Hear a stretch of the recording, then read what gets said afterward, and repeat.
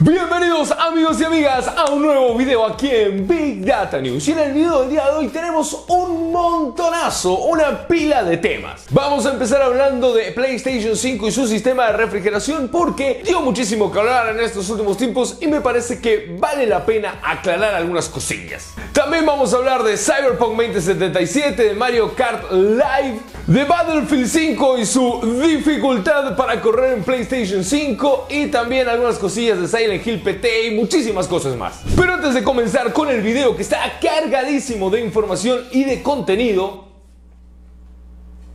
te recomiendo que te suscribas a este canal si es la primera vez que pasas por aquí y que actives la campanita de notificaciones para que no te pierdas ninguno de estos videos sobre PlayStation 5, Xbox Series X y el maravilloso mundo del videojuego y la tecnología. Dicho esto y sin más preámbulos, vamos a comenzar.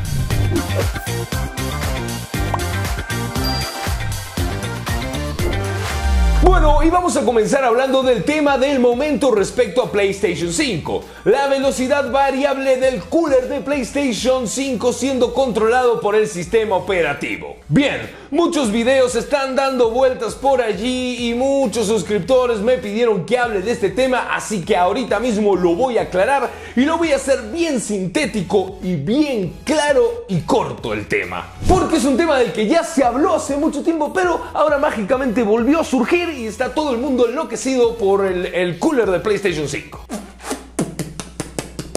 Enloquecido. PlayStation 5 tomará datos del comportamiento térmico de la consola y los irá almacenando. Estos datos almacenados, estos registros del comportamiento térmico con diferentes juegos, servirán para estudiar y analizar el calentamiento de la consola, o sea, el rendimiento en la disipación del calor. Posteriormente, estos datos podrán ser utilizados para optimizar el sistema de refrigeramiento de la PlayStation 5 para posibles futuras versiones de la consola o upgrades dentro del sistema de refrigeramiento. Al mismo tiempo, estos datos que va a ir recogiendo el sistema de PlayStation 5 respecto al calentamiento de la consola servirán para ajustar las revoluciones del cooler en función de lo que obviamente caliente la consola. En resumidas cuentas, PlayStation 5 ajusta las revoluciones del cooler en función del uso del sistema y de su calentamiento. Esto permitirá ahorrar en consumo y además ahorrar en silencio. ¿Qué? ¿Qué? ¿Qué es ahorrar en silencio? Esto permitirá que la consola no esté todo el tiempo a máximas revoluciones, haciendo su máximo de ruido y consumiendo un máximo de potencia que quizás para algunos juegos no necesite. Estos son los datos, esto es a lo que refiere el sistema de este que va a ir haciendo ajustes del cooler respecto a PlayStation 5, pero esto ya se habló, esto es tema viejo, ya que en esta presentación que estamos viendo en pantalla a principios de año, en esta aburrida y técnica presentación se habló de esta misma función. Si esto es noticia vieja, Poro, ¿por qué la estamos escuchando de nuevo ahora? Bueno, no sé. no sé. Es porque este güey, el que desarmó la consola PlayStation 5, hizo algunas declaraciones y dijo que efectivamente PlayStation 5 contaba con esta función. Función que ya está presente en PC hace muchos años.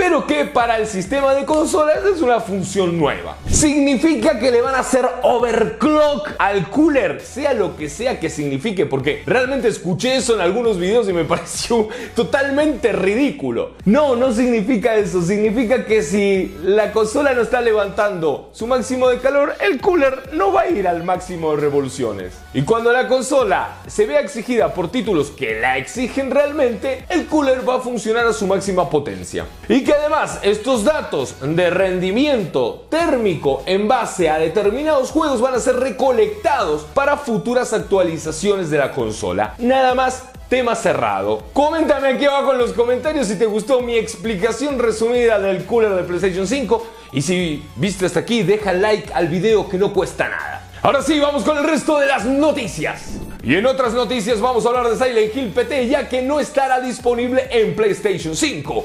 Pero qué gran noticia, cuánta información, vamos a hablar un montón de tiempo de este tema. No, no vamos a hablar un montón de tiempo de este tema. Silent Hill PT o PT o como quieras decirle no va a estar en PlayStation 5. Y dejemos de hablar de esa demo, güey. Por favor, por favor. Dejemos de hablar. Eso ya pasó. No va a haber un Silent Hill de Hideo Kojima. No va a haber Silent Hill PT. Eso fue una demo y ya está. Es como seguir viendo la foto de una ex de, la escuela, güey. Basta de, de... Nos causa dolor que ese juego no haya salido. Sí, nos causa dolor. Pero ya está. No va a estar más. Ya pasó. Ya está. Caput.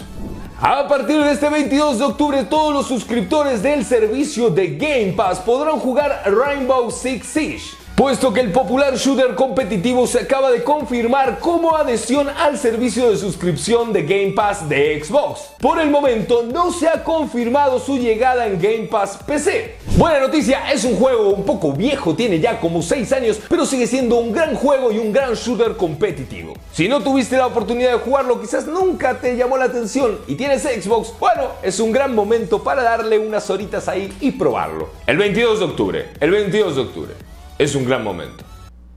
Lo dije, ¿no? La nueva entrega de FIFA fue muy cuestionada, como suele ocurrir todos los años, por no introducir novedades significativas en el juego que justifiquen su valor de full price. Pero al parecer esto no le impidió hacerse con el puesto número uno en ventas físicas en todo el Reino Unido, ya que FIFA 21 en tan solo una semana escaló al puesto número uno de los juegos más vendidos en formato físico, dejando rezagados a lanzamientos como Animal Crossing, Super Mario 3D All Stars, Crash Bandicoot 4 y Star Wars Squadrons. Nos encanta hablar mal, nos encanta hablar mal a toda la comunidad gamer sobre FIFA y que todos los años es el mismo juego. Ya basta, ya basta con eso, ya basta con esto. Esto demuestra que los fanáticos de la saga siguen siendo fanáticos de la saga y que probablemente la gente que juega FIFA o juega títulos deportivos es lo único que juega, así que no hay motivo para no volver a comprar el mismo juego un poco actualizado al año siguiente. Esto quedó demostrado en los análisis de las ventas físicas del Reino Unido que FIFA en una semana, en tan solo una semana se posicionó número uno en ventas físicas. Y seguramente en ventas digitales también haya arrasado, pero ese número no lo tenemos. ¿Y quién lo iba a pensar que este juego se volvería una moda y que se haría medio viral? Bueno, parece ser que a los de Nintendo no les salió tan mal lo del Mario Kart Live. Por si no sabes de qué se trata este juego, yo te lo cuento. Por el 35 aniversario de Mario, Nintendo lanzó este juego, que es en realidad aumentada, o sea, que utiliza la realidad pero que la aumenta con gráficos. ¡Oh, qué buena explicación, Poro! La realidad aumentada es la realidad aumentada con gráficos. Explicación de Harvard. Bueno, la cosa es que para jugar este juego tienes que comprarte al menos uno de estos carritos, o el de Luigi o el de Mario. Estos carritos tienen una cámara integrada que nos va a ir mostrando en la pantalla de la Nintendo Switch la realidad a la que se le agregan las líneas del circuito, animaciones, rivales, etc. O sea, realidad aumentada. Este juego se popularizó muchísimo estos últimos días en internet y cada vez más gente está mostrando sus propios circuitos e incluso las travesuras que hacen con este espectacular dispositivo, como por ejemplo molestar a los gatos que tienen en sus casas. ¡Qué divertido! Quiero jugar Mario Kart Live Home Circuit Deluxe. No me acordaba el nombre, de hecho no me acuerdo el nombre del juego. Mario, Mario Kart Live, sí, Mario Kart Live. ¡Qué divertido! ¡Quiero jugarlo! ¿Cuánto cuesta? bueno, cuesta 100 dólares el carrito, pero 100 dólares en Estados Unidos. En el resto de los países del mundo cuesta bastante más. De hecho, aquí en México cuesta unos 5 mil pesos cada carrito, lo que más o menos son 250 dólares. Ya se te fueron las ganas de comprar del carrito, ¿verdad?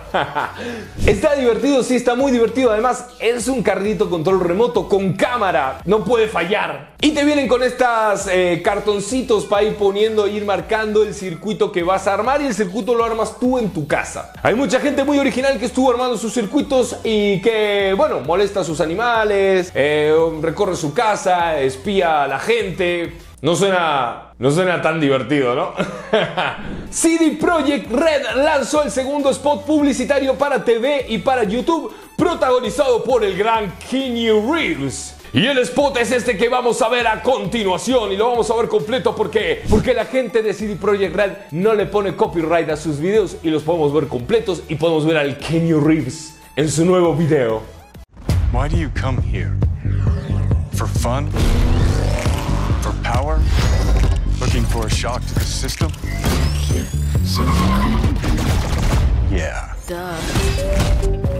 Because before they put a bullet in you, you'll make this whole city burn.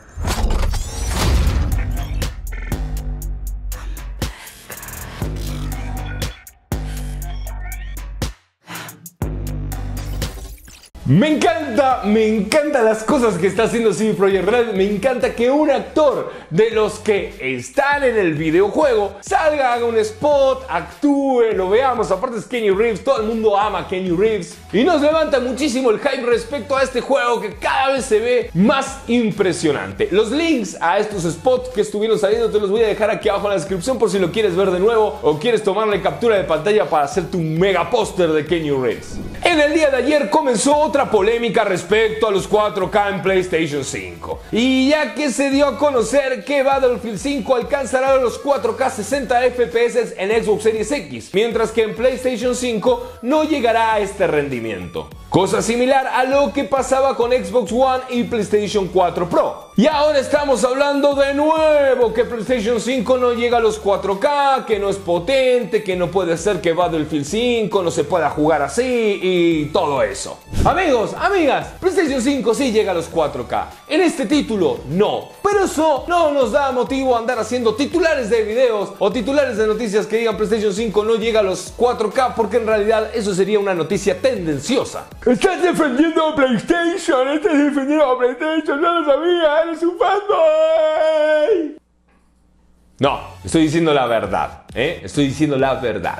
1. Battlefield 5 es uno de los juegos menos vendidos de la saga Battlefield. ¿Por qué? Porque no estuvo tan bueno. ¿Estoy diciendo que a nadie le importe? Sí, a nadie le importa. ya me veo los fans de Battlefield diciendo a mí sí me importa, güey. 2. Ya sabíamos que PlayStation 5 tiene menos potencia que Xbox Series X y obviamente son dos sistemas diferentes. Algunos juegos correrán mejor en PlayStation 5, otros mejor en Series X. Y ya, y ya. 3. La retrocompatibilidad de Series X. Bustea automáticamente cualquier título que haya salido en Xbox One, en Xbox 360 o la Xbox original. La retrocompatibilidad de PlayStation 5 no lo hace con algunos juegos, no con todos. 4. No hay versión Next Gen de Battlefield 5. Lo que está corriendo es la versión máxima que alcanzó en la generación anterior. Así como la generación anterior de PlayStation, la PlayStation 4 Pro, no alcanzaba los 4K. ¿Por qué? Porque estaba ahí capado a eso y no le daba la potencia a la consola para correrlo en 4K 60 FPS. Y en Xbox One X, que es más potente que PlayStation 4, y esto no es ningún secreto, sí alcanzaba los 4K 60 FPS. Entonces, como esta versión de Battlefield 5 no es una versión Next Gen, es el Battlefield 5 en su máxima expresión de la generación anterior, en Series X sí corre en 4K 60 FPS y en PlayStation 5 corre a lo que corría la PlayStation 4 Pro, que no me acuerdo y tampoco me interesa, no sé por qué le damos tanta vuelta a esto del 4K en PlayStation 5.